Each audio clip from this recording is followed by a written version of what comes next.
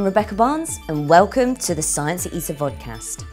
In this episode, our journey through the wonders of modern astronomy brings us closer to home as we begin to explore the solar system. We'll discover the scale and structure of the solar system, find out why we explore it, and introduce the European missions launched on a quest to further investigate our local celestial neighbourhood. Ancient astronomers observed points of light in the night sky that appeared to wander across the fixed background of stars. These five wandering stars, or planets as they came to be called, along with the moon and sun, are Earth's closest cosmic neighbours. Until about 400 or so years ago, a limited view and understanding of our solar system led astronomers to believe that our world was at the centre of the universe and that the sun, stars and planets orbited the Earth. At that time, astronomers only knew about the five planets closest to us, those that are visible from Earth to the unaided eye. Over time, our view of our local cosmic neighbourhood has changed and evolved as technology and scientific thinking has progressed. Nicholas Copernicus was the first to realise that the Sun was at the centre of the solar system. Johannes Kepler discovered that the planets moved in ellipse-shaped orbits, and Galileo Galilei was the first to use a telescope to observe four tiny moons orbiting the giant planet Jupiter, showing that more than one centre of motion existed in the solar system. The invention of the astronomical telescope provided the ultimate tool for astronomers to observe the solar system in more detail. In addition to facilitating the discovery of two more giant planets, telescopes also allowed scientists to see the surface of the planets for the first time. Continued study of the heavens over the past few hundred years has completely changed our perspective of our place in the universe. The solar system, a tiny region of our galaxy, is dynamic and is in constant motion and evolving. Although small in size compared to the Milky Way, the solar system is actually very large. Our solar system formed from a large cloud or nebula of gas and dust about 4.6 billion years ago. This cloud mostly consisted of hydrogen and helium that formed in previous generations of stars. This pre-solar nebula was a rotating sphere of dust and gas. Slowly, the dust settled around the central plane to form a disk. At the center of the nebula, a protostar formed. Further contraction in the heart of the protostar caused the temperature and pressure to increase until they were high enough for nuclear fusion to ignite. In the disk of debris surrounding the very young sun, heavier elements remained closer to the central star, whilst lighter elements were pushed by the solar wind to the outer regions. The dust and gas, while settling into a disk, started to accrete. Some material was broken down into smaller pieces, and others began to cluster together and stick. As these clusters grew larger and larger, they attracted even more material and eventually formed the planets observed today.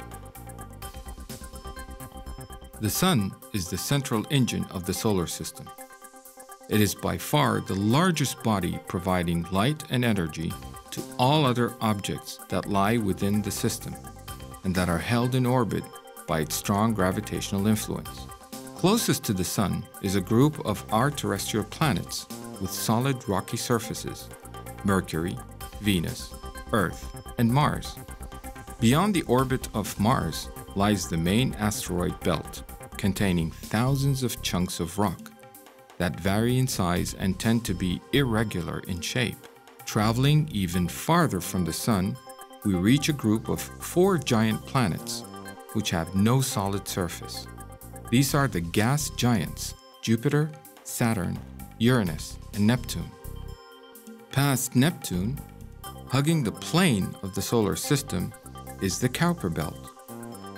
The thousands of objects here, so far away from the Sun, contain much colder material and are predominantly made of ices and rock. These are comets. The Kuiper Belt is also home to three dwarf planets, Pluto, Eris, and Makemake. Even further away from the Sun, the Oort cloud forms a halo surrounding the entire solar system. The Oort cloud is home to millions of comets. The outer boundary of the solar system is known as the heliopause. This is where the solar wind, energetic charged particles emitted by the Sun in all directions, collides with incoming particles from interstellar space. Many of the planets have moons orbiting them, and the entire solar system is filled with microscopic particles of dust. So why do astronomers and scientists want to explore the solar system? It's human nature to seek knowledge of the world around us.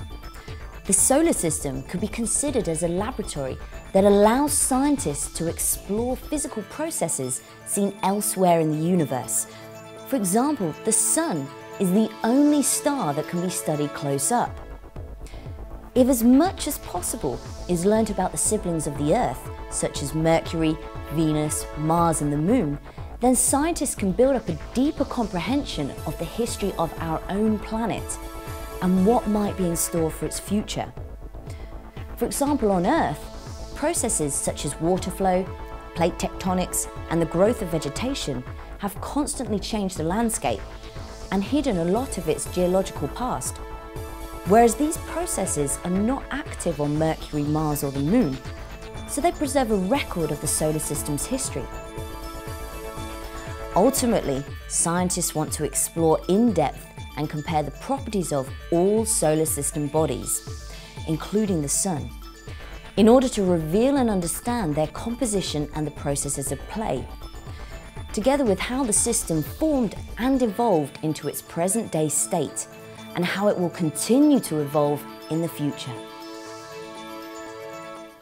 At the dawn of the space age, very little was known about what the planets were like as individual worlds. Venus was believed to be concealing lush rainforests under its thick clouds.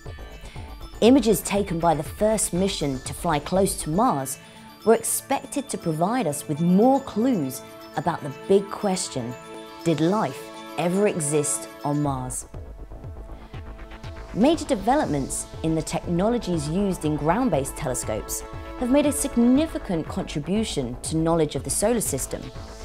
However, over the last half a century, launching spacecraft above Earth's obscuring and turbulent atmosphere has allowed for huge progress to be made in solar and planetary science. Perhaps one of the most important advantages of launching into space to study the solar system is evading Earth's protective atmosphere, which blocks a large portion of the electromagnetic spectrum.